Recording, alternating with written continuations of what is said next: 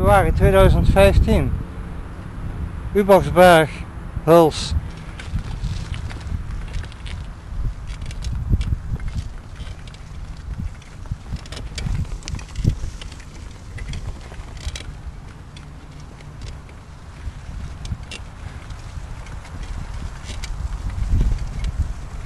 Wat een zout is daar gestrooid op die aarde.